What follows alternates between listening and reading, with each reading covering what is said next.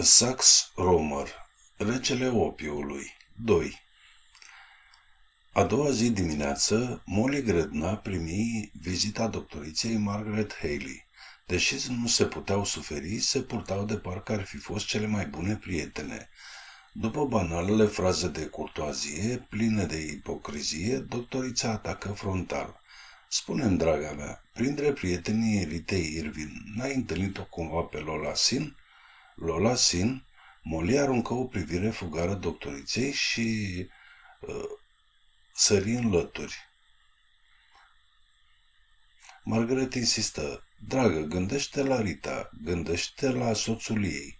Nimeni nu vrea să facă declarații despre Lola Sin sau Kazmah. Nimeni nu vrea să fie amestecat în afacerea asta, dar uită că Lucian Paines a fost asasinat și Rita a dispărut. Dacă știi ceva, spune nu te lăsa stăpânită de teamă. Te asigur că informațiile tale vor ajunge la omul potrivit, discret, la delegatul Ministerului de Interne. Un frison a străbătut-o din cap până în picioare pe Molly Gretna. Îi era frică, simțea că o plasă nevăzută o învăluie și îi paralizează mișcările. Aseară, comisarul acela Roșcovan, acum doctorița. Nu știu nimic, nu cunosc pe Lola Sin. Margaret Haley nu asistă, nu insistă, aflase destul. Se ridică și plecă. La zece minute după plecarea doctoriței, Molly se îmbrăcă, comandă un taxi și ateriză la Scotland Yard, unde întrebă de comisarul șef al serviciului criminalistic. La vederea ei, Kerry nu se arătă surprins. Îl surprindea doar faptul că fusese atât de promptă după întâlnirea lor la prinses și dispariția ei precipitată de acolo. De teamă să nu înfricoșeze, se întrecu în amabilități. Îi pregăti și o cafea, lucru care îl miră într-atât pe sergentul Combs, încât lansă printre subalterni un zvon pe cât de stupid, pe atât de neadevărat. Roșcovanul s-a îndrăgostit. După îndelungi pregătiri, Kerry deschise discuția. Aș putea ști de la cine ați aflat că am nevoie de informații, să nu spuneți că din ziare. Bineînțeles că din ziare. Apoi mi-a spus și domnișoara Haley că... Încep să pricep. Doctorița v-a sfătuit să veniți la mine, nu? Căută el să o încurajeze. Așa, aș, de unde? M-a informat să-i dau, m-a rugat să-i dau informațiile ca să le comunice unui delegat al Ministerului de Interne. Cum? Ochii comisarului scăpărau. Spuneți-mi, vă rog, am anunțit, ce vroia domnișoara Haley să afle de la dumneavoastră? Vrea să știe unde locuiește doamna Sin. Sângele lui Kerry izvăcnea cu putere prin vine. Așadar, 719 dibuia și el prin întuneric. Și nu i-ați spus? întrebă repede Kerry. Nu, domnule comisar, m-am gândit că numai dumneavoastră sunteți persoana indicată să o afle. Perfect, dă-mi adresa. Știu că o să vi se pară ceva grozav. Am fost la locuința doamnei Sin. Îi se zice casa celor o sută de fericiri. Bine, bine, unde se află casa asta? Nu știu, la nevoie v-aș putea conduce acolo, dar habar n-am cum îi zice străzii. Mergi pe o mulțime de străzi care te înfioară și ajungi la o casă păzită de soțul uh, Lolei Sin, un chinez chior cu o ceară pe umăr care aiurează într-una despre spioni polițienești. Și, a, n-am să uit în viața mea. Un moment, uh, Coniță, cum îl cheamă pe omul ăsta? Sin Sin Va. Are o cioară domesticită ce vorbește ca o zgripțuraică bătrână. Are numai un ochi. Cioara? Da, și chinezul tot așa. Descriem casa. Molly descrise cu amănunte fumătoria de opio, iar Kerry o asculta încordat. Așadar, camerele de fumat se găsesc în clădirea vecină, Bănuiesc, noi trecem dincolo printr-un dulac. Ai putea să-mi numești câteva din persoanele care vizitau casa? Beata Rita, bineînțeles, și Lucien Pines. A, da, mai venea și Cyrus Kilfane. Artistul american, asta s-a, ăsta s-a întors de mult în țara lui. Pines e mort, iar doamna Irvin dispărută. Altcineva mai venea? Molly clătină din cap negativ, semn că nu știa. Gheri bănuia că minte și nu greșea. Cine te-a dus întâia oară acolo? Kilfane. Ce legătură există între Kazmah și Lolasin? Nu știu, Kazmah comercializa unele stupefiante. Cei care voiau să fumeze opiu erau trimiși la Lolasin. Cum? Le dădea adresa ei? Nu, nu, îi dădeau ei adresele lor. Așa, deci Lola îi aborda. Da, ah, domnule comisar, Molly se aplecă spre el. Citesc în ochii dumneavoastră că mă găsiți grozav de destrăbălată. O să fiu arestată? Gheritul și ușor. Ei venea chiar să zâmbească. Aflase ce dorea. Vă sunt foarte recunoscător, doamnă, zise el înclinându-se politicos. 13. Idolul de aur Londra zăcea în ceață. În preajma docurilor se ridicau valuri de abur care învăluiau străzile într-o umezală de nepătruns. Orice străin rătăcit prin partea locului era pierdut. Peter Carey, înfășurat într-o manta de ploaie, orbecăia prin întuneric. Nu zărea nici agenții care îl însoțeau. Informațiile furnizate de Molly Gretna permiseră agenților săi să localizeze bărlogul lui Sin Sinfa. Era dracului de treabă, jurul el înfuriat, bindu-se cu piciorul de un zid. Unde dracu ești, Bryce? Chiar lângă dumneavoastră, domnule comisar, răspunse Bryce apucându-l de braț. Mai mergem vreo zece pași și o să zărim lampa, dacă o fi aprinsă, bineînțeles. Tibuiră cu băgare de seamă mai departe. Prin ceața deasă trecu un zgomot înăbușit. Tot aici ești, Bryce? Da, da. Hm, atunci mai e cineva pe aici. Ei, domnule, cine-i? Cine-i fi? Te-ai rătăcit? Se opri și trase cu urechea. Nimic. Aș putea să jur că e cineva în urma noastră. Așa e, domnule comisar șef. Eu l-am și zărit. Probabil vreun chinez de prin partea locului. Uite că am ajuns. Cheri auzi o bătaie înăbușită lângă el și se pomeni în fața unei uși scunde alături de Bryce. Alo, alo, cărie un glas ciudat. Spion poliețenesc. Repede, Sin Sin va. Sin Sin va e acasă, zise Bryce. Asta e cioara. Se auziră zăvoare trăgându-se. Prin perdeaua de ceață străbătu o luminiță. Pe peretele din fund se desenă o siluetă caragioasă. Doliți să vorbiți cu mine?" gânguri cu glas din întuneric. Da, mărâie Cherry, vreau să-ți inspectez dugheana." Trecu apoi pe dinaintea asiaticului și de-abia acum descoperi pricina siluetei lui ciudate. Pe umărul stâng al chinezului stătea cioara cu aripile întinse. Al mai deștept om din Buenos Aires, țipăia în urechea comisarului. Pe o ladă de cei sclipea o statuetă. Era un Buddha din lemn polit cu aur. Dumnezeul lui Sinsinva, șopte chinezul, îl culățam. E un Dumnezeu plima întâi. Hm, îmi pare rău că te deranjezi de la îndeletnicirea ta cu cernică, dar dăm cu o lampă, zise Cherry. Foarte bine, răspunse Sinsinva. Puse idolul într-un tulăpior din care scoase un felinar, închise dulapul, apoi se așeză pe lada de ceai. Zâmbea într-una cu mâinile așezate pe genunchi. Gary începu interogatoriul. Agent Bryce recunoște în persoana asta pe Sinsinva, proprietarul acestei locuințe? Da, domnule comisar șef. Agentului nu-i prea era la îndemână și ocolea privirea chinezului. A auzit vreodată în casa asta, sau mai bine zis, ai văzut sau mirosit ceva suspect? Nimic, domnule. Nu ți-a venit niciodată bănuiala că Sin Sinva ar ascunde ceva, sus de pildă. Nici asta, nu mi s-a făcut nicio plângere împotriva lui. Totul e în ordine, băigui chinezul cu satisfacție. Cherry se întoarse brusc spre el. Vreau să vorbesc cu nevasta. Cheamă aici. Sinva întoarse mâinile arătând podul pamelor. Nu ale femeie, îl asigură el blând. Kerry scoase o pereche de cătușe și se așeza amenințător în fața chinezului. Acesta nu se clinti. Întinse mâinile, zâmbind resemnat. Criminalistul stârn, se strânse înfuriat din foc și se uită la Bryce. Ai văzut vreodată nevasta? Nu, nici n-am știut măcar că e însurat. Ei, pentru prima oară, un, pentru ultima oară, unde e nevastă ta? A fugit, rânji prietenos Sinsinva. Ce scolpie de femeie, o hoață, mi-a fulat tot. A venit aici când Sin Sinva s-a dus să se bălberească. A fulat toți banii. Disperat, Kerry râse scrâșnind. Rămâi aici, Bruce, mă duc să cercetez casa. E cineva sus? Nimeni aici. Sin Sinva singurul. Culăță idolul lui de aul.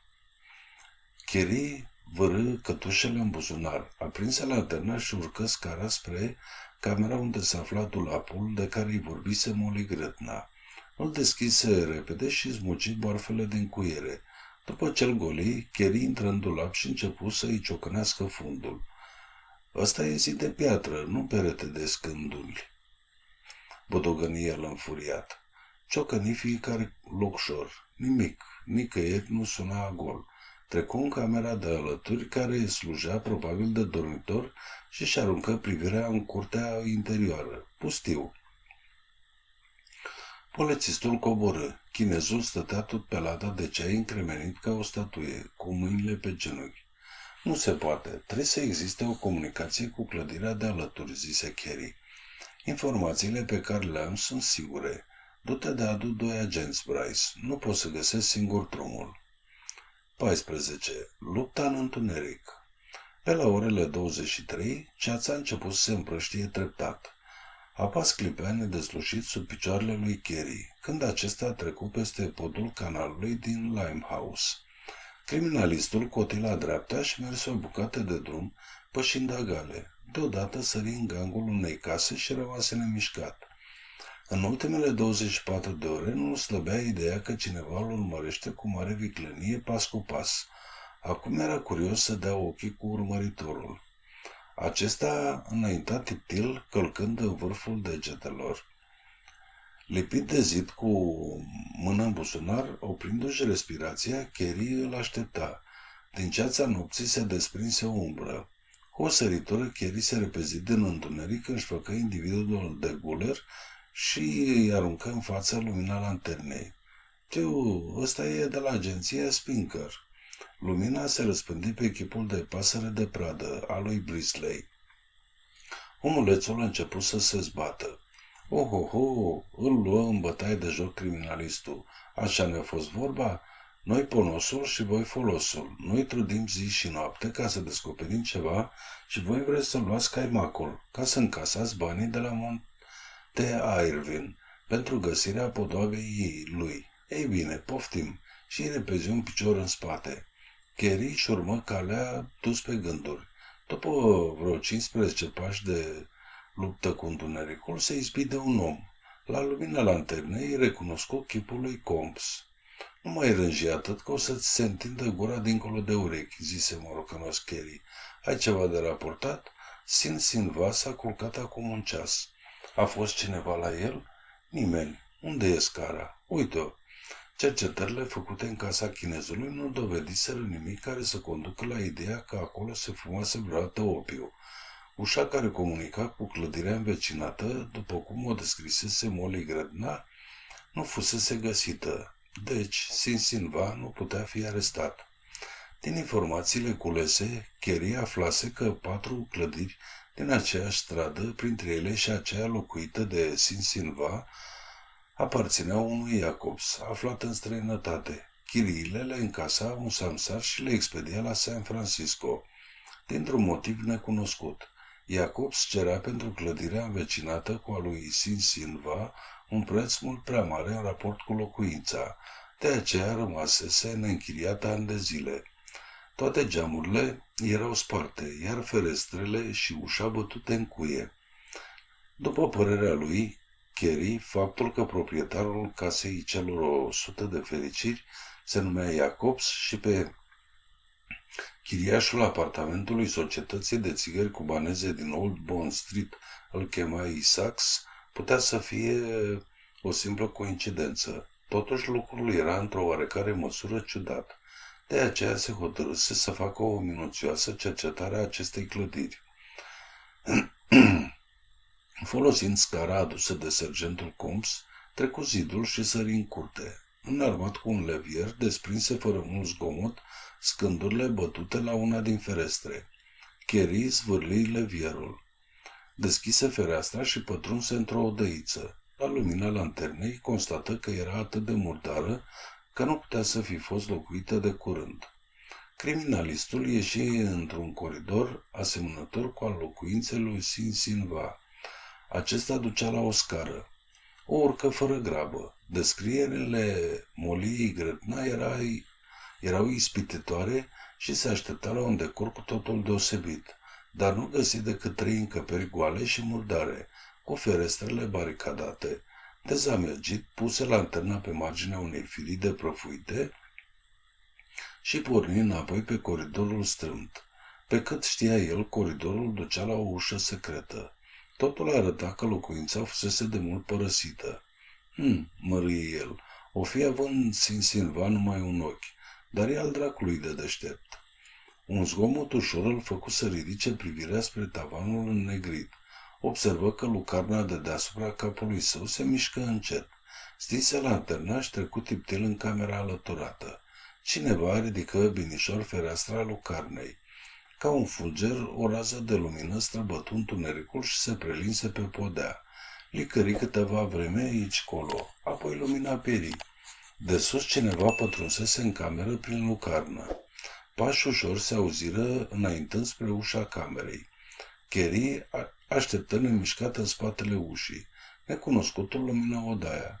Se oprise în prag și numai așa îl, îl despăr, ușa îl despărțea de Kerry. Aflat în dosul ei cu respirația oprită. Intrusul trecu pragul cu revolverul în mână. Deodată Kerry se însufleți, se lăsă pe spate și zvârli cu o lovitură de picior arma din mâna necunoscutului. Se auzi un țipă de durere și revolverul căzu cu zgomot la pământ. Se auzi o împușcătură. Kerry se aruncă pe podea. Nu-și închipuise că necunoscutul avea două revolvere. Comisarul rămase întins pe o parte, cu un genunchi ridicat, cu brațul adus peste față. Ocolind prevăzător lumina, necunoscutul veni mai aproape și încercă să vadă fața celui căzut. Chiar nu mișca. Celălalt îngenunche și se aplecă peste el. Fulgerător, ca un laț, stânga lui Kerry se încolăci în jurul gâtului celuilalt, iar dreapta lovină prasnic la bărbie. Omul gemu năbușit și căzu peste Kerry. Criminalistul se trase icnind de subtil. La lumina lanternei văzu un chip murdar, neras, negricios, numai pe alocurea. Era îmbrăcat ca un fochist, dar ciudat, în picioare avea pantofi noi, cu tălpi din crep. Cherry aresta revolverele necunoscutului și inspectă buzunarele. În buzunarul de la piept găsi bancnote și mai multe cărți de vizită. Pe toate scria Lord Roxborough, iar sub numetul Naun 719. Sfinte Dumnezeule, făcut Kerry, ăsta e delegatul Ministerului de Interne. Respirația căfâitoare a necunoscutului încetă și acesta întinse o mână murdară lui Kerry. Bine ai venit, uh, bine că ai vorbit, domnule comisar. Tocmai mă pregăteam să-ți aplic o figură de jujitsu. Kerry apucă mâna întinsă a necunoscutului 719. Se ridică zâmbind. Răsunară pași pe scară. Cum s-auzise detonatura. Domnule Rânjicheri, dacă vei avea vreodată nevoie de o mărturie că te pricep la astfel de comedii, apoi adresează-te mie. N-am crezut că The Big Seton e și maestru în arta deghizării. Felicitări! 15. Ce povestește 719? Așezați pe câte o lată de ceai în încăperea din spatele locuinței lui Sin Sinva, Seton și Cherry aveau un mic colocviu. Acum, domnule Seton, după ce am dat cărțile pe față, trebuie să recunoști că avem încă multe să ne spunem. Pe cât se pare, ai abordat afacerea încă din seara crimei. Așa e? Da, o întâmplare. Descoperirea unei țigări de opiu în camera lui Gray m-a făcut să-mi dau seama că rechemarea mea din Orient e legată de traficul de stupefiante și prin asociere ulterior de misterioasa crimă din Old Bond Street.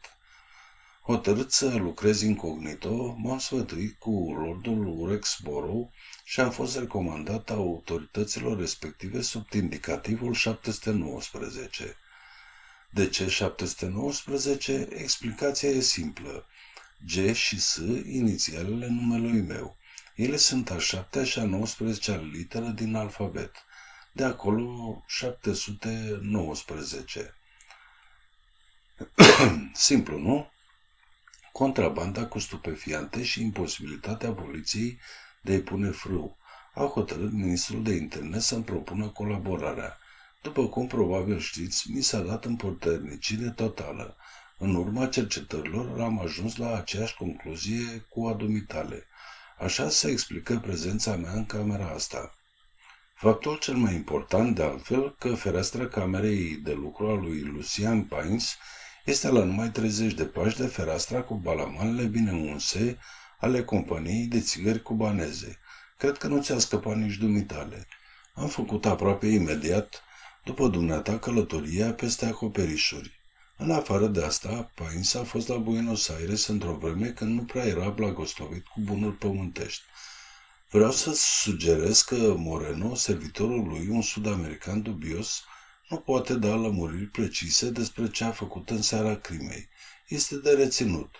Nu mai încape îndoială că ne aflăm în fața unei asociații puternice de traficanți de stupefiante. Dacă Pines n-a fost chiar conducătorul ei, era totuși foarte interesat în afacere. Kazmach se ocupa cu desfacerea mărfii, iar importatorul era Sinsimva, întregi Kelly. Pungașul ăsta chiar e mai șire decât toți chinezii de aici.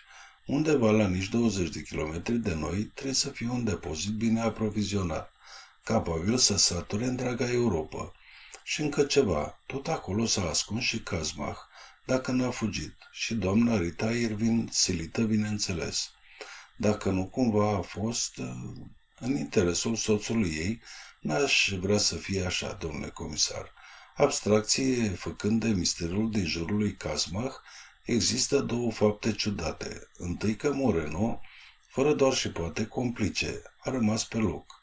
Al doilea, că nici Sinsimva nu s-a gândit să o șteargă din oraș. Înțelegi dumneata ce înseamnă asta?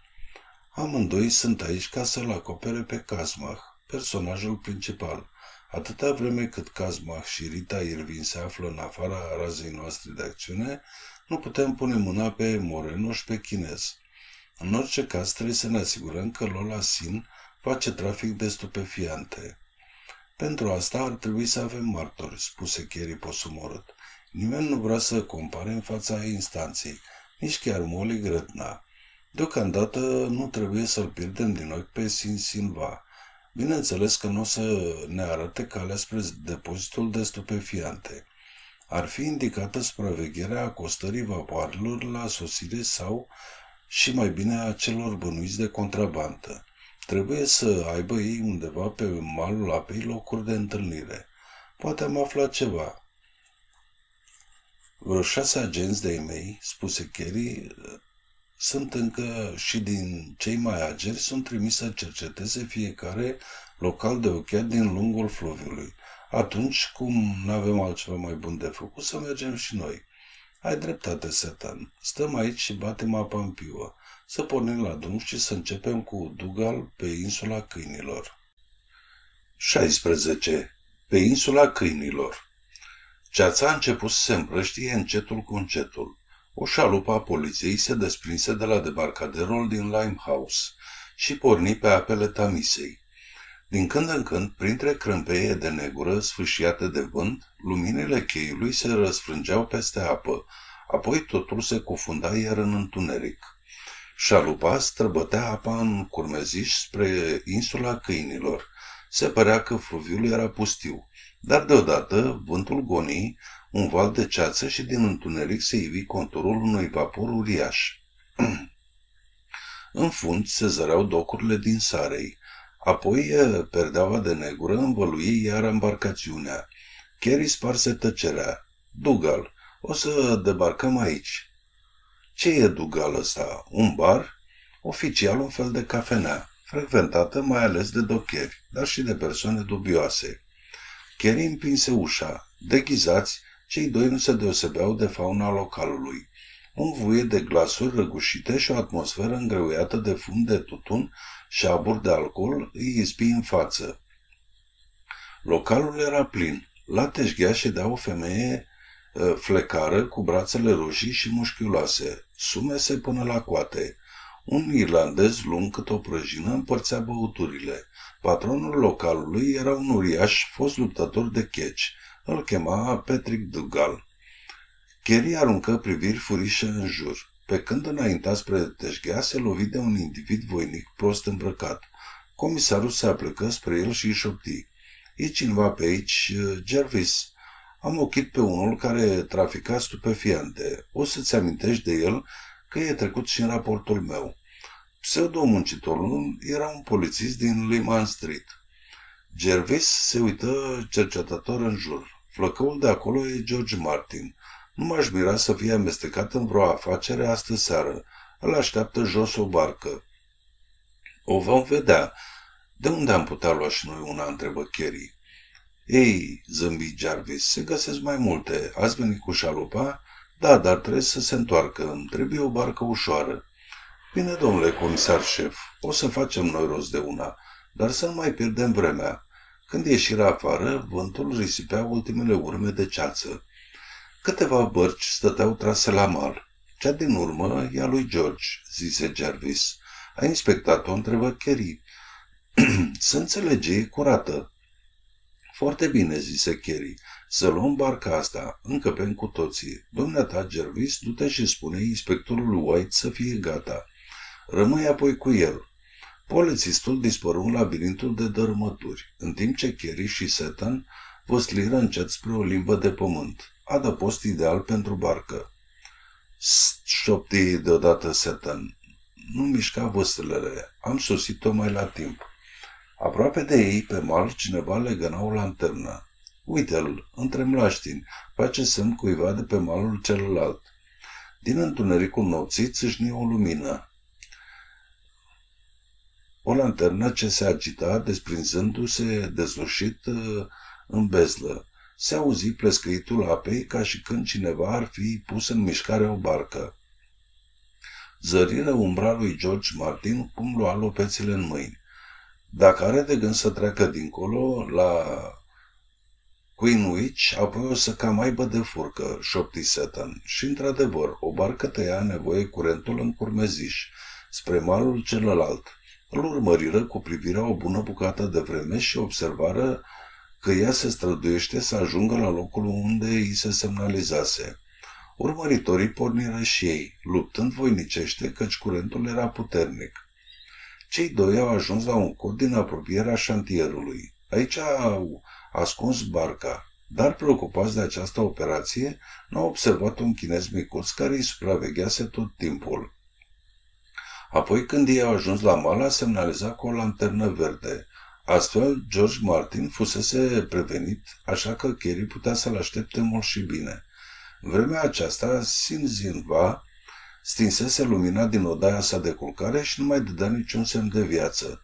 În clipa când polițiștii și-au dat seama că au fost trași pe sfoară și înjurau de zor, un țipă disperat slușie tăcerea nopții. Mâna lui Sătăn se înfipse numărul lui Kerry. Doamne Dumnezeule, ce-a fost asta? Dacă nu e o stafie, a fost o femeie gâfâi Jerry cu glas răgușit. O femeie care a văzut moartea cu ochii. 17. Magie chinezească Sergentul Comps, împreună cu cei trei agenți, supravegheau locuința lui Sin Sinva și fiecare dintre ei și-ar fi pus mâna în foc ca aceasta, acesta dormea buștean. Dar chinezul e greu de păzit. Ușa casei lui ducea într-o curticică dosnică și avea balamarele foarte bine unse. Ca o umbră, chinezul se strecură afară. Ducea cu el un sac atârnat pe umăr. Punând piciorul în dărmăturile pe peretelui de piatră, se cățără până în vârful zidului, de unde putea vedea până departe. Un de țigare de foi îl atenționa că un polițist străjuia prin apropiere. Chinezul coborâ de pe zid, alese dintr-o grămadă de fier vechi un drug ruginit, apoi urcându-se iar în vârful zidului, îl zvârli cu putere în stradă. Drugul se izbi de o bucată de tablă, sări în sus și căzu apoi pe un morman de molus din curtea învecinată. Polițistul mărâi ceva și se duse repede într-acolo. Chinezul îl păcălise. Cu sacul pe umăr, Sin Sinva se strecură prin ulicioara îngustă din umbra docurilor până și până nu apuca polițistul să se cațe repezit pentru a-și da seama de pricina zgomotului, era pe partea cealaltă a canalului și bătea încet în ușa frizeriei lui Sam Tuc. Îi deschise chinezul care supraveghease polițiștii. Ce mai e nou, ah fung? șopti el chinezește. George Martin venea încoace văslind stăpâne, dar i-am făcut semne cu lantena că polițistul la Roșcovan și cu ălălalt stau la pândă. George așteaptă, dar stăpâne și o să aștepte dacă e vorba de un câștig mai ca lumea. Simzinva se strecură la scara pivniței, ridică chepengul bine tăinuit și porni pe un gang subteran către depozitul de stupefiante. Lângă o sobă de petrol, într-un fotoliu de trestie, stătea aciuiat Samtuc, patronul frizeriei. Căpățâna lui Cheala târna într-o parte, în așa fel încât ochelarii lui mari, cu rame de corn, păreau un opt pus pe lat. Nu schimbară niciun fel de salut. Sin Sinva desfăcu sacul și scoase din el o colivie. Alo, alo, țipă că am vis pasărea dinăuntru. Spion polițienesc, repede, ei, Sin Sinva. Vină cu at, uh, ting aling, a devenit chinezul la său mlădios. Fără să arunce vreo privire spre moșneagul din fotoliu, Sin Sinva deschise o ușă și pătrunse într-o încăpere mobilată cu obiecte provenite din casa celor o sută de fericiri. Dintr-un colț, pe un pat, zăcea nemișcată o femeie păzită de Lola Sin. Era Rita Irvin. A, ai venit, în sfârșit, zise ea într-o chinezească perfectă. Sin Sinva rânji cu rânjetul lui obișnuit. Vulpea bătrână e supravegheată, dar ochii lor sunt ai duma cu ai șobolanului. Poate că sunt mai șireți decât îi crezi tu. Ești sigur că nu i-ai adus după tine? Mercur nu poate urmări șoimul și privirea liliacului nu-i poate zări zborul. Îl mai deștept om din Buenos Aires, cârii cioara. Lola făcu un gest de silă. Întrebă, mi-ai adus hârtiile? Da, te voi îmbarca pe Mahrata. Ți-am cumpărat un loc de stewardesă. Și Juan dacă dispar tu, ce se poate dovedi împotriva lui? Femeia arătă spre un colț al camerei. Sin Sinva se apropie nepăsător de pat. Cu mâinile împreunate în mânecile largi ale hainei se uita lung la Rita Irvin. Da, da, e ispititoare, murmură chinezul, dar femeile sunt ca ouăle de șarpe. Nebune cine le încălzește la sân. E frumoasă, mai spus odată Sin Sinva. Frumoasă, o păpușă fără sânge și puteri. Asta e. Da, da, dar așa cum e, a descoperit taina lui Casmach și pe Lucien... Așa e, hoață și ucigașă. Degetele lolei pline de inele se întinseră ca niște gheare deasupra femeii adormite. Aș vrea să o gătui cu mâinile mele, dar nu trebuie să se găsească urme de omor când va fi pescuit cadavrul. Spion polițienesc, luați seama cărui cioara. Turbată de furie, femeia se uită cu ură la pasărea aceea chioară. De ce ai mai adus și cioara asta aici? Crezi că și așa ne atârnă viața de un fir de păr? 18. Kerry se agită și Lola visează. Peter Carey era decepționat. O armată de polițiști contribuise zona respectivă. Nu scăpase nicio casă, prăvălie, șantier și, după cum credea Carey, nici pivnița de pe malul Limehouse-ului, până la docuri, dar totul fusese zadarnic. Pentru întâia oară, de când își putea aduce aminte, Carey, zâmbetul de pe buzele sergentului Combs, pierise la știrea că Sin Sinva dispăruse în un chip misterios – iar Rita Irving părea parcă intrase în pământ. Pe comisarul șef îl cuprinsese un fel de frică superstițioasă de chiorul ăsta ciudat. Ca să poată cineva transforma o turnătorie de opiu ca aceea deschisă de Molly Gretna într-un timp atât de scurt într-o locuință părăsită și murdară, era de necrezut. Totuși nu e posibil își dăduse imediat seama că instalația aceea luxoasă nu era greu de îndepărtat și că în realitate nu servea decât să acopere murdăria de desubt. Dispariția ușii secrete dintre cele două clădiri era o enigmă și mai greu de dezlegat. Fără îndoială, își zise Kerry, mobilierul casei celor 100 de fericiri fusese transportat la depozitul secret în care se acioase acum toată asociația Kazmach.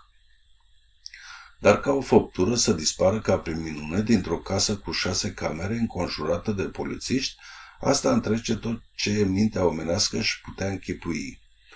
De la primăria din Brixton, unde îl depusese pe Juan Moreno în arestul preventiv, Kerry luă un taxi și porni spre Princess Gate. Mașina străbătea în goană străzile populate. Agitația pietonilor nu îl trezi pe Kerry din gânduri. Deodată tresări. Zărise într-un automobil mic de două locuri pe Seton, împreună cu Margaret Haley. Unde se mai duce și ăsta?" se întrebă comisarul. Seton se ducea și el la Brixton. Aflase de arestarea lui Moreno și vrea să-l interogheze. Inițiativa se va dovedi fără rezultat, căci sud-americanul nu s-a sinchisit nici de făgăduiel și nici de amenințări. Pe când Kerry se îndrepta spre locuința lui Irvin, Simț Sinva stătea în ascuzătoarea subterană înaintea sobei și își curăța idolul poleit. Predona un cântec monoton din patria lui îndepărtată, iar pasărea de pe umăr urmărea cu ochiul ei întunecat mișcările degetelor galbene. De partea cealaltă a sobei stătea ghemuit bătrânul Santuc, clătinând la intervale capului chel. Ușa care ducea la încăperea din fund era întredeschisă și prin ea străbătea lumina roșiatică a veiozei. Lola, după ce fumase câteva pipe cu opiu, aiura cu glas răgușit. Cuprinsă de amețeală, vorbea cu iubitul ei mort. Ce-ți se întâmpla, Lucy? Parcă nu mai ești ca înainte. Ești putre de bogat și acum vrei să te faci om cinstit, așa e? Și totuși, Lucy, era o vreme când mă găseai frumoasă. Pentru la Lola, ți-ai fi jertfit mândria ta de englez. O hoti încet. De n-ar fi fost Lola ta, nu scăpai tu cu o viață din Buenos Aires. Ți-ai jertfit mândria și n-ai întrebat de unde au, am luat cei 10.000 de dolari ca să-ți salvezi onoarea când ai pierdut la casino. Tăcu ca și când ar fi ascultat răspunsul mortului. Apoi murmură iar. Nu, iubitul meu, nu-ți face nicio imputare. M-ai răsplătit în mit și sin sinva pișcherul ăsta bătrân nu în bani. El este regele opiului. 19. În spatele valului. Deșteptarea Ritei Irvin n-a fost propriu-zis o deșteptare. N-a fost nici măcar o vânturare a volului care o despărțea de lume, ci o senzație nelămurită. Că există un astfel de vol și că în spatele lui ar mai fi ceva. Ca pe vremea închiziției, când victimele aveau înaintea ochilor, fie că erau treze sau adormite, instrumentele de tortură. Tot astfel se perindeau pe dinaintea creierului ei chinuit și semiconștient impresiile nopții care o despărțiră de ceilalți oameni. Se simțea la hotarul nebuniei. Ce groază nebună simțise la atingerea mâinilor omului din scaunul de avanos. Degetele acelea lungi și subțiri de culoarea fildeșului învechit, reci, țepene, fără viață la pipăit, asemenea unui mort. Acum se derula o altă drama chinurilor ei. Era amestec de realitate și închipuire într-un amalgam. Haotic în jurul era un întuneric de nepătruns. Când s-a dat înapoi, îngrozită din fața făpturii sinistre din fotoliul de avanos, a răcnit de spaimă și scârbă.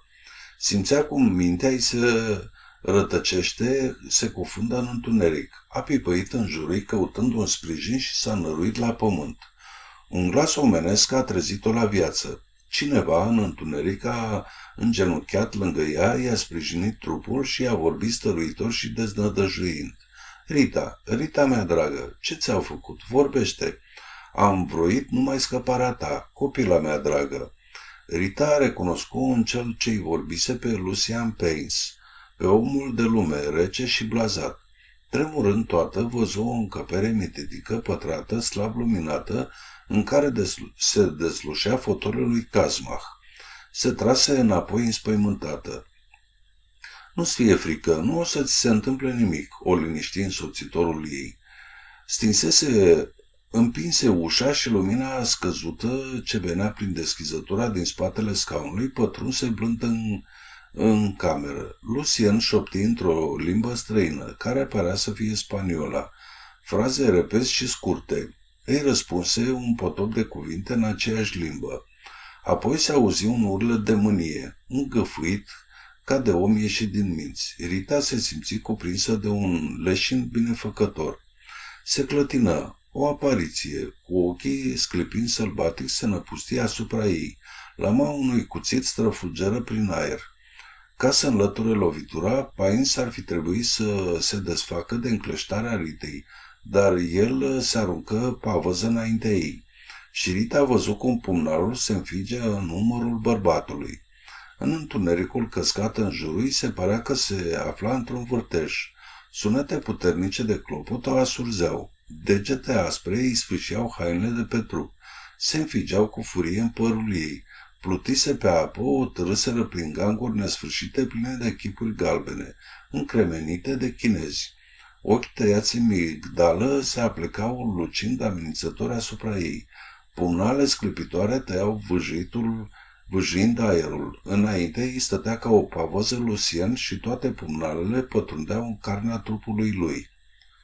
Rita ar fi vrut să țipe, dar niciun sunet nu ieșea de pe buzele ei.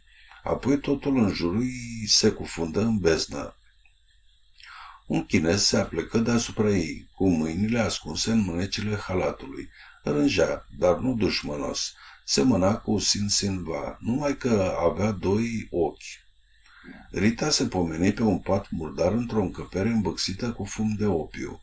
Pe masa de lângă ea erau niște rămășițe de mâncare. Zadarnic se trudea să-și amintească dacă mâncase sau nu. Ceva metalic sclipise înaintea ochilor ei, urmat de o durere pătrunzătoare. Rita crezut că e un pumnal și scoase un răcnet grozav. În realitate era acolo unei seringi. Avea să adoarmă. Când s-a trezit, Rita o văzut pe Lola Sina așezată pe divanul din colțul încăperii, cufundată într-un morman de perne multicolore. Lângă ea, pipa ce îi alunecase din mână. Chipul ei răsfrângea extazul unei senzații de fericire mistică. În colțul celălalt al divanului, cu privirea țintită asupra ei, se afla Kazmach. 20. Samtuk se mișcă. Cartierul chinezesc era supravegheat ca niciodată. Scotland Yardul pusese la dispoziția lui Kerry toți agenții disponibili.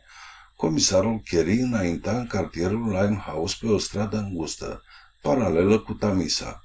Sub braț ducea un cățeluș înfuriat. Era cățelul Ritei Irvin. Îi sugerase cineva că o legioană ca asta ce își iubea stăpâna poate fi un bun câine polițist. De trei ori încercase javra să-l muște de mână. Când comisarul păși pe un podeț, câinele mai făcu o încercare și reuși să-și înfigă colții în mâna lui. Blestemând, criminalul îl scăpă din brațe. Du-te dracului, javră, zise el uh, înfuriat. După ce fugi puțin, cățelul se opri, scheunând și adulmecând în fața unei prăvălii, pe a cărei firmă scria Samtuc Frizer. Ochii lui negri ca smoala arătau spaima și păreau că se roagă de ceva însuflețit de nădejdi noi. Cheri pășind prăvălia pe care o mai inspectase în zori. Cățelul alergă spre pivnița de cărbuni. Acolo polițistul l-a surprins pe Ah Fung, căutând să împrăștie praf de cărbuni într-un anumit loc. Câinile început să scormonească locul. Cheri l apucă pe băiat de guler. Ce ascunze acolo? Ochii prelungi ai chinezului îl priveau cu supunere, dar el nu părea dispus să răspundă. În vremea asta, pe chinezul Ridei, scormonind reuși să dea la iveală o placă de beton, prevăzută cu un belciug. Probabil o intrare secretă. Kerry repetă întrebarea. Ce ascuns? Deschide. Slăbi puțin din strânsoare. Ah Fung profită și o zbunghie. Gestul lui fu sancționat pe loc. Kerry plonjă ca la rugby, iar pumnul se opri în falca chinezului. Acesta căzut pe spate, era anesteziat pentru o bună bucată de vreme. Îl percheziționă și găsi un stilet și un inel cu chei. Comisarul șef trase de belciuc și ridică placa. Se o deschizătură îngustă de unde pornea în jos o scară de lemn. Coboră treptele și pătrunse într-un tunel scund căptușit cu scânduri un fel de tranșee, făcut cu mare dibăcie de Sin Sinva. A plecat de mijloc. Kerry merse în lungul tunelului până ce ajunse înaintea unei uși masive. Când o deschise, cu una din chei, broasca bine unsă nu scârții de fel. Deși Kerry se ferise să facă zgomot, Sin Sinva îl simți. Așa se explică de ce nu-l găsi în cameră decât pe Samtuc. La intrarea comisarului, acesta nu clinti. Cu mâinile în mânecile hainei, a plecat înainte, părea o statuie. Ascultă, mumie bătrână, ce ați ars aici?" zise Kerry apucându-l de umeri. Samtuc dătu din cap, dar nu răspunse. Un morman de cenușă albă se deslușea bine pe cărbunii aprinși. Ați înlăturat dovezile, ai? Putea opiu și alte otrăvuri. Unde e banda de tâlhari? Sam Tuc clătina mereu capul și când polițistul îi dădu drumul, căzu iar în scaun și rămase nemișcat. Cu privirea întunecată, Kerry se uită la făptura ghemuită în scaun. Ceva îi atrăsese atenția. Jos la picioarele bătrânului, așezate ca niște cărămizi, era un mare număr de săculeți din hârtie cerată. O idee îl fulgeră. Opiu. Aici era depozitul traficanților. Se aplecă spre săculeți. Brusc, cu o mișcare fulgerătoare de nebănuit pentru un bătrân, Sam Tuc scoase din sân un baston scurt de cauciuc și îl lovi pe comisar în moalele capului. Acesta se prăbuși la pământ. Sam Tuc căzu și el pe spate în scaun. Polița dulapului din apropierea ușii despărțitoare se mișcă fără zgomot într-o parte și Sin Sinva a apărut. Ținea mâinile în mânecile largi ale hainei. Pe fața lui galbenă, ciuruită de vărsat, înflorise un zâmbet. Bine ai făcut, zise el în limba melodioasă a strămoșilor. Bine ai făcut, bătrânule, cu țeasta cheală și plină de înțelepciune. Câinii se apropie, dar vulpea bătrână veghează. În timp ce comisarul șef Kerry intra în frizeria lui Sam Tuck, lordul Lurexborough o primea în audiență pe Greville Seton, însoțit de Quentin Gray. Așadar, după părerea dumitale, zise lordul cu părul ca argintul, între poliție și contrabandiștii de stupefiante n-are exista niciun fel de legătură? Asta e părerea mea, excelență. Negoțul cu stupefiante a fost monopolizat încetul cu încetul de un grup financiar. Kazmach și tovarășii lui făceau parte din asociație. Așa, bănuiești cumva că banda împreună cu Kazmach sunt ascunși în preajma șantierelor și ești de părere că Sin Sinva este capul organizației? Probabil că Pains a fost în realitate conducătorul întreprinderii, dar Sin Sinva era însărcinat cu executarea distribuției. Având în vedere aparen- aparența lui exterioară, prin care poate fi ușor recunoscut, cu greu ne-ar putea scăpa. În ceea ce îl privește pe Kazmach, cred că nu vom mai auzi de el, fiindcă nu avem semnalmentele lui. Dar pașaportul lui, asta nu e o piedică de neînlăturat. Lordul ezită, dar până la urmă puse întrebarea. Și doamna Irvin? Quentin Gray, cu fața spre fereastră, se întoarse brusc. Chipul lui de băiețandru era alb ca varul. Setan, pentru Dumnezeu, spune-mi adevărul. Crezi că am muțit, copleșit de simțămintele care îl stăpâneau. Azi dimineață trăia încă Quentin. I-am auzit glasul din depărtare. Fii încredințat că nu îi se va face niciun rău. Mai mult nu-ți pot spune. 21. Cântecul lui Sin Sinva Trezită de Sin Sinva din visarea provocată de opiu, Lola intră în încăperea cu acrul năbușitor. Privirea îi era tulbure, iar părul îi atârna în șuvințe încălcite pe frunte. Trezește, femeie, îi zise chinezul cu glas melodios. Lola îi răspunse cu o privire disprețuitoare. Apoi se uită la Kerry întins pe podea, înaintea sobei. Acesta era lucid, dar în imposibilitatea de a se mișca. Lovitura fusese aplicată artistic. În ochii lui Sin Sinva luci o sclipire ciudată, dar nu se clinti din loc. Sam Tuc rămase și el nemișcat. Lola însă, zăpăcită încă de droc, ridică în sus chimonoul, scoase un pumnal dintr-o teacă prinsă de pulpă și se ghemui ca o panteră gata să se repeadă la comisar. Sinsinva o apucă de mână. Femeie mărginită, de când crezi tu că poate rămâne o crimă nepedepsită în Londra? O întrebă el în limba culturală a strămoșilor. Lola se retrase înfuriată. Maimuță galbenă, gâfâia răgușit. Unul mai mult ori mai puțin. Unul, Sinsinva aruncă o privire ciudată asupra comisarului. Sunt aici, înțelegi? Am căzut în cursă. Nu, o contrazise chinezul. Asta, a, ăsta a venit singur.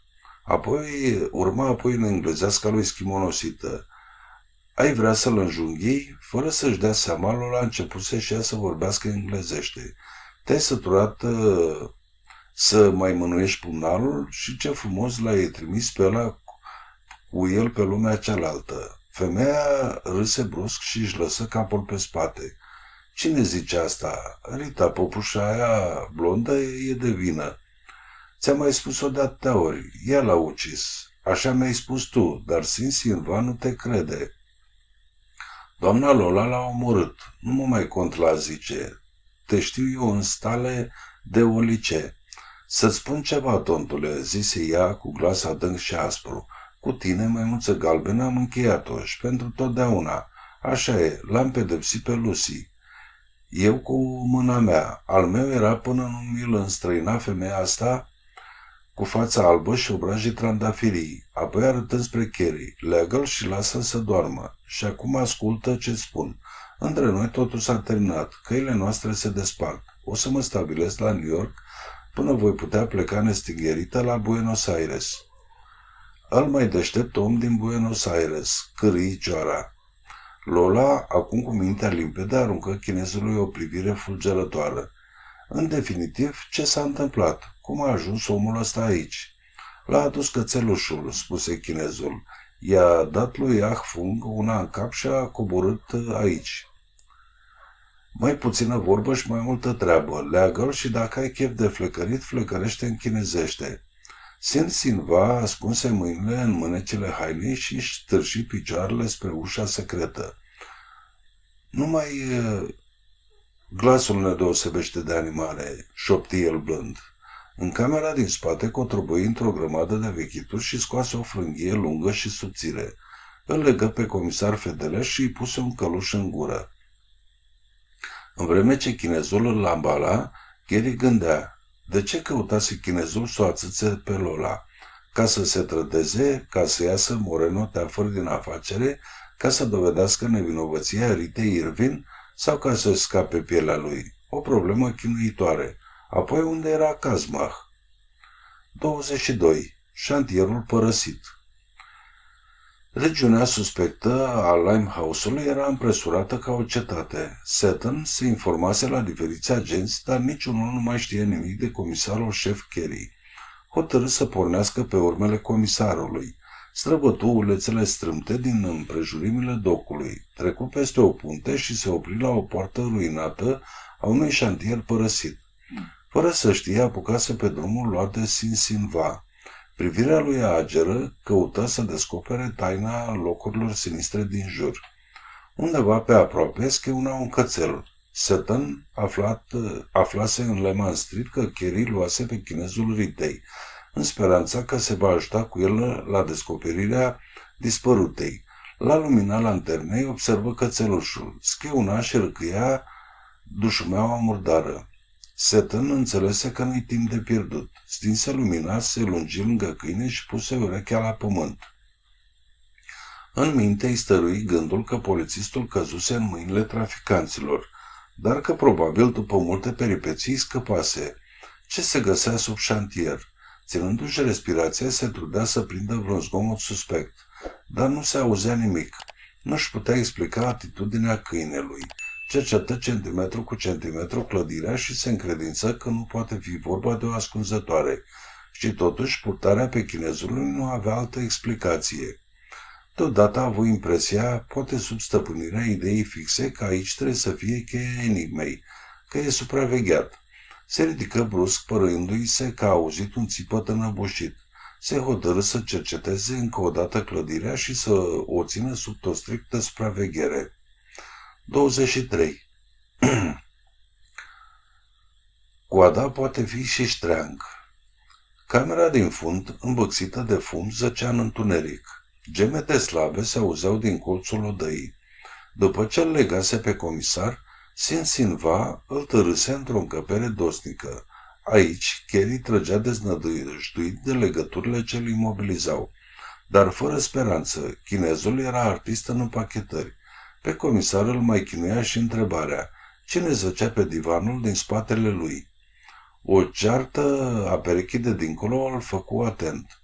Leagă-i și bine ciocul, n-auzi, mă calcă pe nervi.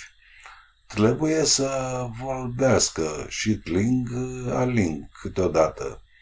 Alo, cri pasărea, îl mai deștept, deștept om. Culcă-te tling aling, neveste căi nu-i place la ta. Sin Sinva nu mai luă în seamă protestele lor și trecu cu o lanternă în camera din fund. Puse lanterna pe măsuța arabă care împodobise mai înainte budoarul din casa celor o sută de fericiri. Apoi, cu mâinile în mânecile largi ale hainei, se uită, după o privire fugară aruncată lui Kerry, la femeia ce gemea în patul din colț. Se... Tot n-ai murit, draga mea? Dar-i...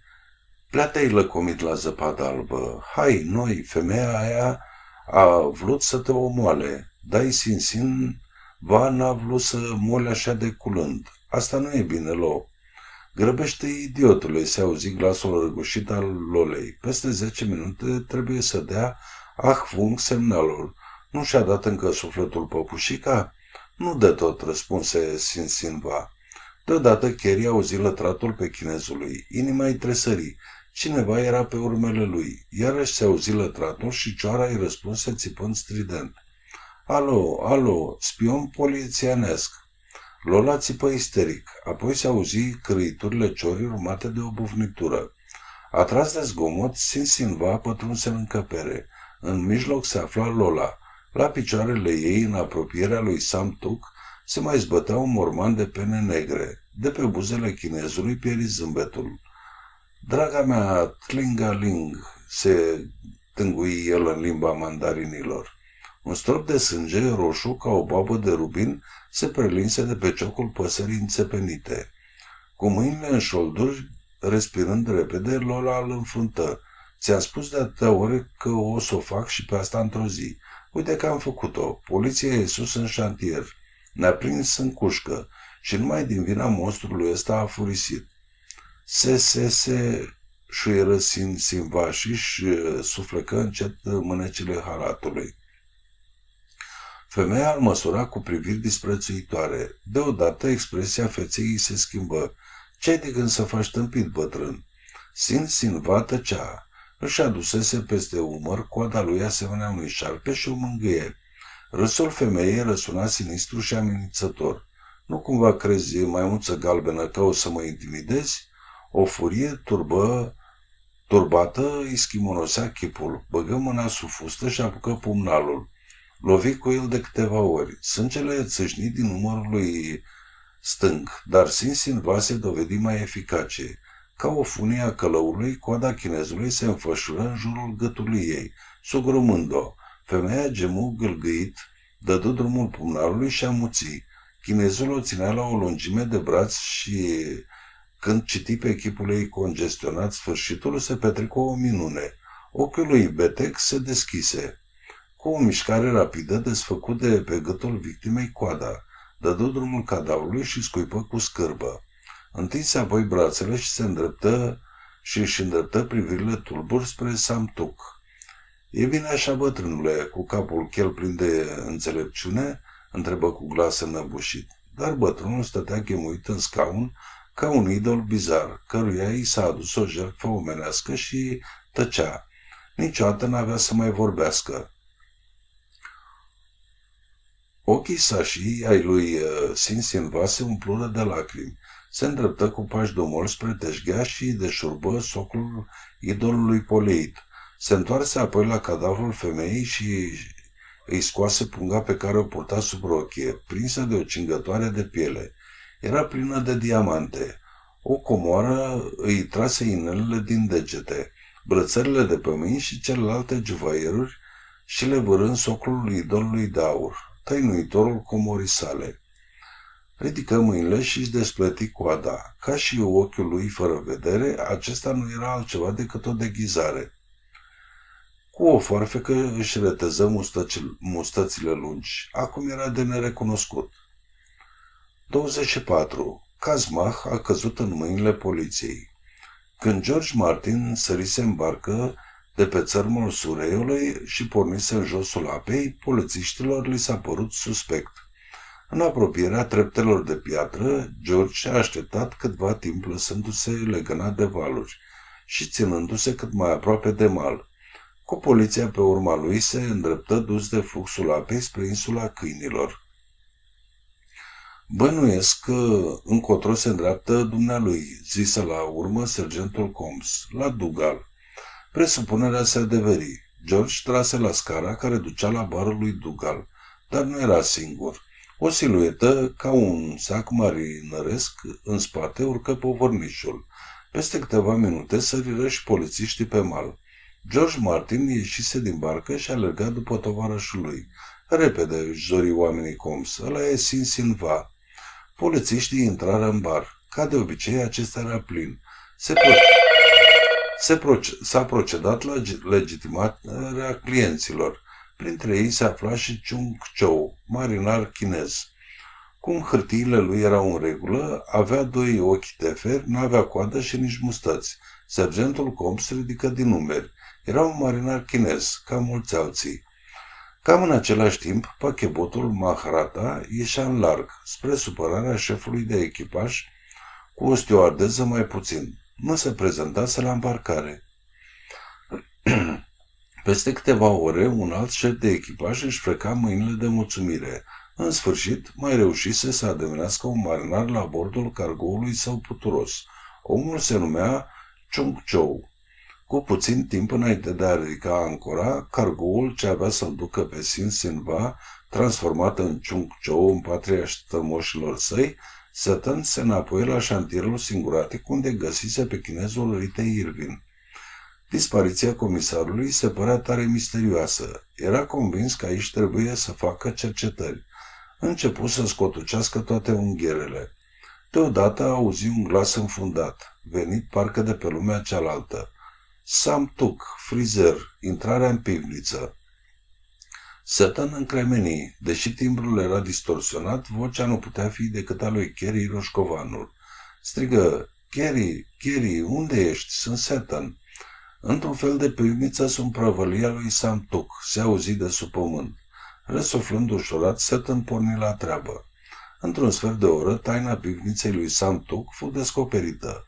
Prăvălia era pustie, ușa ce ducea în subterană închisă, dar un druc de fier și un topor îi veniră de hac. Setan pătrunse în subterană. Un aer îmbâxit de miresme otrăvite îi tăie respirația. Lângă sobă stătea ghemuit și fără viață un chinez bătrân. Pe genunchi avea o cioară neînsuflețită, cu aripile întinse. La picioarele moșneagului, făcută mototol, o femeie cu chipul schimonosit de groaza morții. Dulapul de lângă ușă, răsună vocea lui Kerry. Împingeți la stânga. Setan sări peste teșghea, împinse ușa la o parte și pătrunse în cameră. La lumina lanternei văzu un pat murdar. Pe el zăcea o femeie cu chipul de mort. Era Rita Irvin, dar trăia. Setan îngenunche lângă Kerry și început să-l dezlege.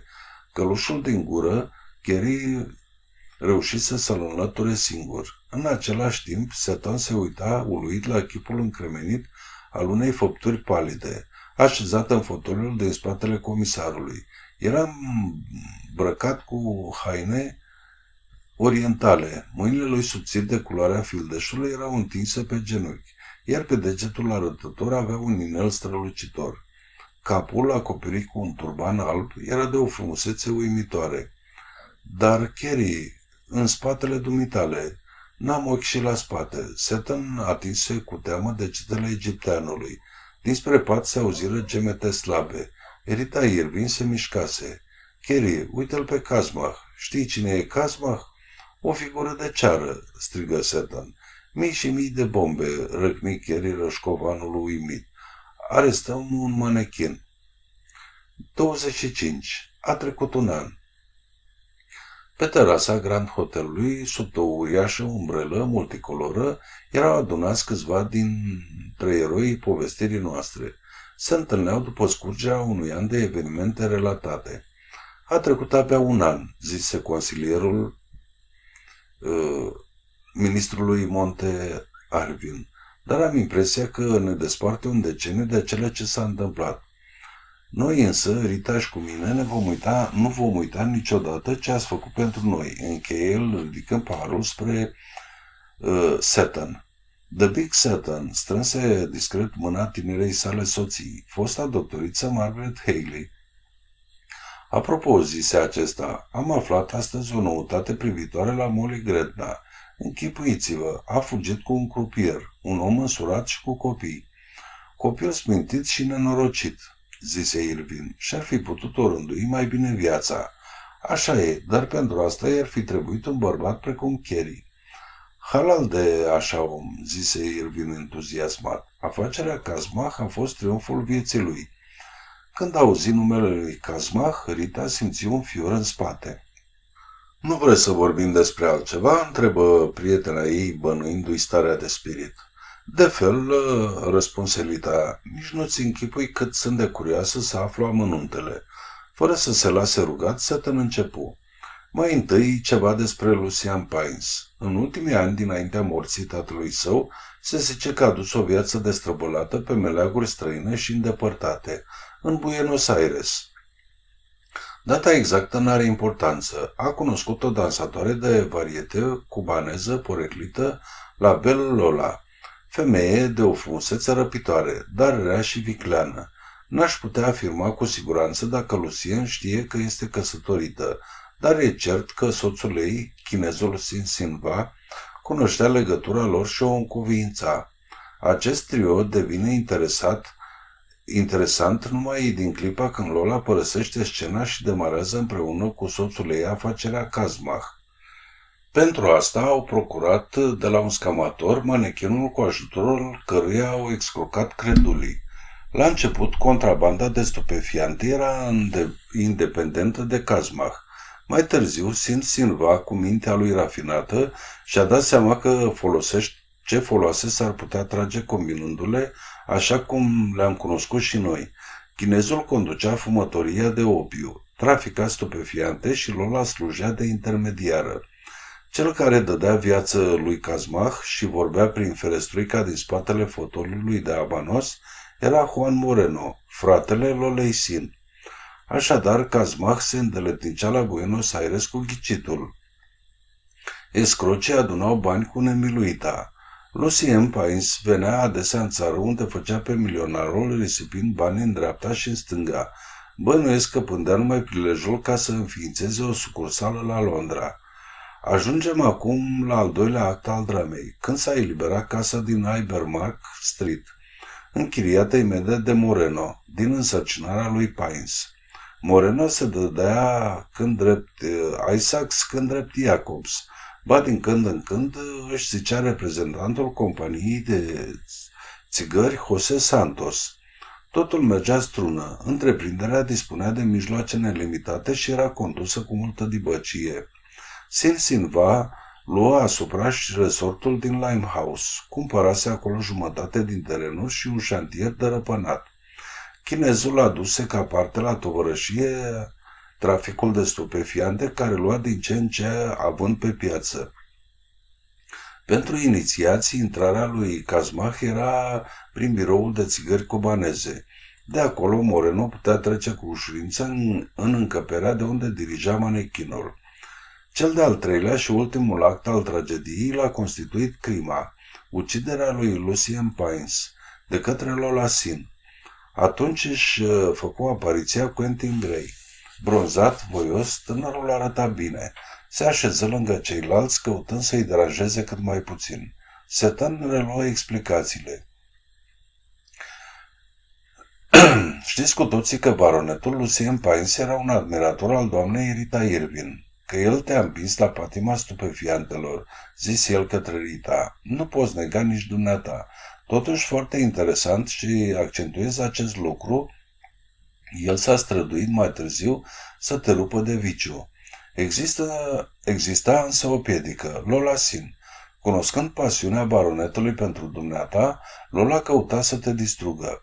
În acest timp a urmărit uh, atragerea lui Grav în cercul vicioșilor, pentru că o să vi se pară ciudat nutrea sentimente vinovate față de tânărul nostru prieten. În seara crimei nimic n-ar fi, n-a fost premeditat. A acționat doar gelozia oarba unei femei cu mintea tulburată de droguri. Când doamna Irvin a descoperit secretul manechinului și aproape și-a pierdut cunoștința, Lola Sin a făcut pur și simplu o criză de nebunie. Văzând-o în brațele lui Lucian Pines, atunci a scos pumnalul și a lovit. A fost începutul sfârșitului. Ce a urmat, știți? Poliția a desființat organizația criminală, dar regele opiului, Sin Silva, a dispărut. Probabil vom mai auzi de el. Sfârșit.